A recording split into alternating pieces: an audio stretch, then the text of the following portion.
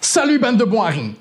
L'autre coup, j'allume la télé et je vois qu'il y a une grosse pourchotte hein, qui propose de revendre l'eau de son bain après qu'elle aurait euh, pété d'un liot hein, et qu'elle euh, qu'elle se serait fait du bien. On se demande bien comment. Hein. Alors voilà, je me suis dit, étant un businessman, il y a un petit billet à se faire. Voilà. Alors pour tous ceux qui auraient des idées à la con, je vous propose d'acquérir ma pichotte que j'ai appelée l'eau de Wilfrid.